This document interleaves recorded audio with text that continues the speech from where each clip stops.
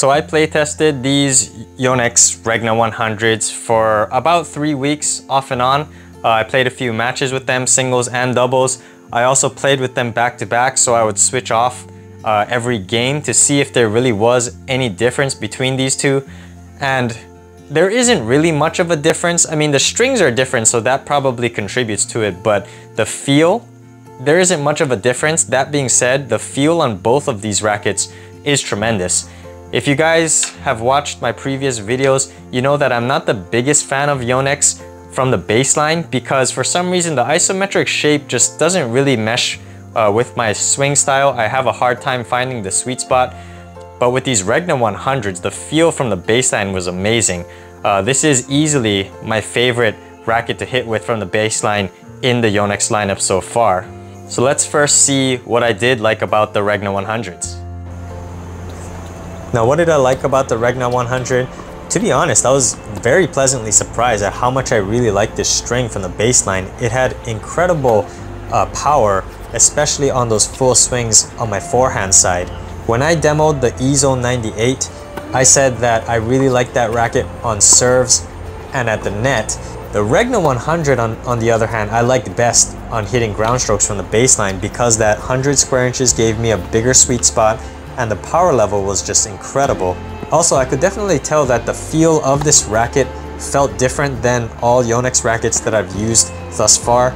I do believe this has something to do with the handcrafted nature of this racket. The spec tolerance is very strict and so these rackets are made using incredible meticulous attention to detail and I could feel that on the strings. This felt like nothing I've ever played with before as far as Yonex rackets go. I'm not the biggest fan of Yonex rackets on ground strokes, but this Regna 100 is easily the best ground stroking Yonex racket I've used in my life. The power was also great on flat serves and on put away volleys. The spin level was decent, the open 16-19 string pattern did give a little bit of extra spin, but it's really the power level and the feel of the Regnas that really shone during this playtest for me. I also for some reason felt that the Regna 100 had a fairly low flex which may turn off some players with sensitive elbows because a low flex usually means a stiffer feel. I didn't feel the Regna 100 was stiff by any means. Um, to my knowledge, Yonex doesn't have VDM, the vibration dampening mesh, in the handle which they have in their more recent generations of their rackets, which is shocking because they've included VDM in all other retail rackets as far as I know. The response was firm without being too harsh and that allowed me to feel more connected to the ball which as you guys know, I really, really like because I like hitting sharp angles, drop shots. I like to place volleys deep into the court when I'm approaching the net or hit a drop volley to force my opponent to run for it. The feel from these rackets was incredible. And I think that had something to do with the low flex. I was able to feel the vibrations in my arm. I knew exactly where on the strings I was hitting and I knew where exactly on the court my ball was gonna go. If you're a really, really big hitter, I think the Regna 100 might be too powerful for you. The control level on the Regna was, I would say above, a little bit above average, but if you can already generate that incredible power from the baseline, I think the Regna 98, which has a tighter string pattern and a smaller head size and a thinner beam, will definitely give you better levels of control. But the Regna 100, because of its premium handcrafted build quality, the control and feel on this racket I feel is much better than what you would find on the shelf at a tennis shop. And lastly, this is a personal thing, but the cosmetic of the Yonex Regna line is incredible. The gorgeous colorway and intricate patterns and the, the crown logo really makes this feel like tennis royalty. Japanese craftsmanship is world renowned for its superb attention to detail and the paint job and the cosmetic of both generations are very good. If I had to pick which one I like more, I think I like the 2014 model more because it has the red and black accents. My favorite color combination is red and black. So judging from the cosmetic alone, that's the one I think looks nicer, but they both have incredible attention to detail in both the construction as well as the exterior and the beautiful handcrafted design. The Regna rackets, if you can get them, I think they would definitely be worth a try. Now getting into the cons of the Regna, I don't have very many personal cons. I really like this playtest overall. Just maybe some objective things. The first thing is that they're very hard to find outside of Japan. and they cost a premium because they're so rare. Even in Japan, I would imagine these rackets would probably be very expensive because of the limited quantities that Yonex produces. They handcraft them, so only producing 200 of them a month means that the supply is very low. I can't find any in the United States under $500, although the MSRP is about 380. All the online retailers and eBay and all of those secondhand secondary shops, they're charging more than $500 to sometimes almost $600. So it's hard to justify spending that much money unless you're very interested in trying this racket. And the second con for me is that the Yonex grip shapes Come on Yonex, I'm getting sick and tired of these grip shapes that are not consistent with the other manufacturers. The grip size is supposed to be measured in a circumference around the handle. So if it says 4 and 1 4th, it's supposed to be 4 and 1 4th inches in circumference around the handle.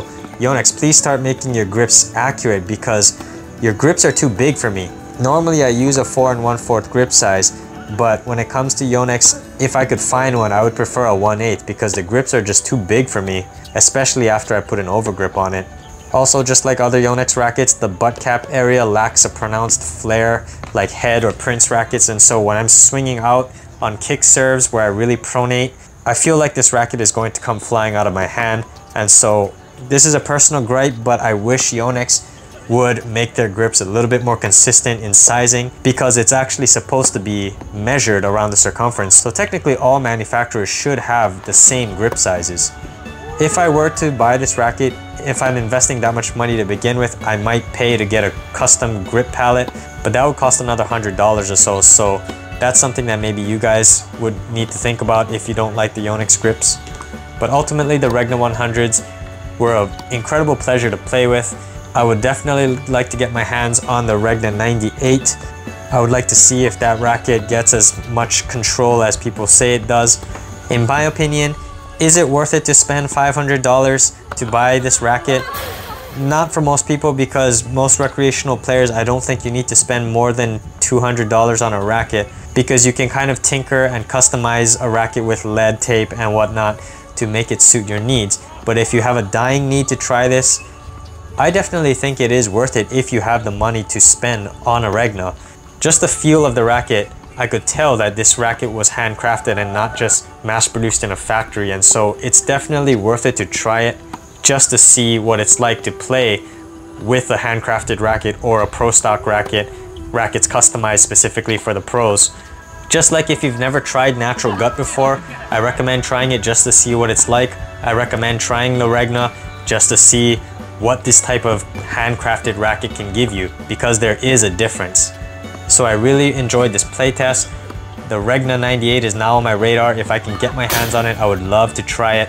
If you're even slightly interested in trying a Regna, I say give it a try because it does have a different feel than retail rackets.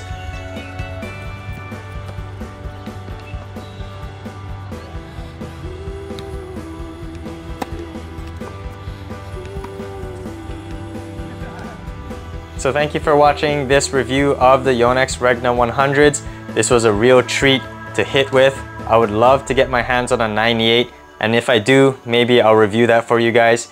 If you like this content and want to see more like it, be sure you overhead smash that like and subscribe button and I'll see you on an open court.